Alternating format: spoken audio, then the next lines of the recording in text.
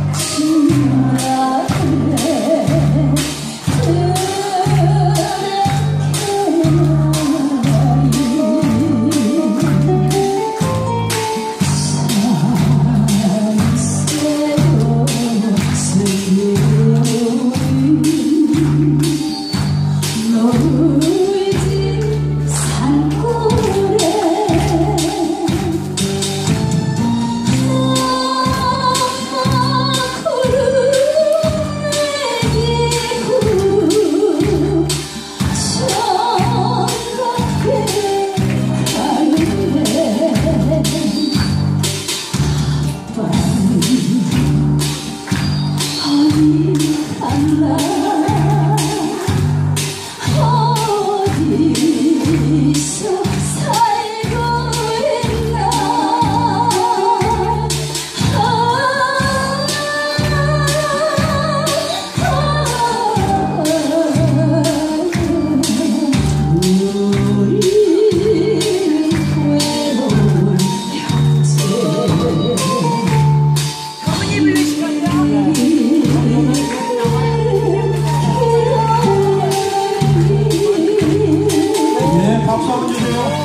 그러기 아빠, 가수 하성입니다.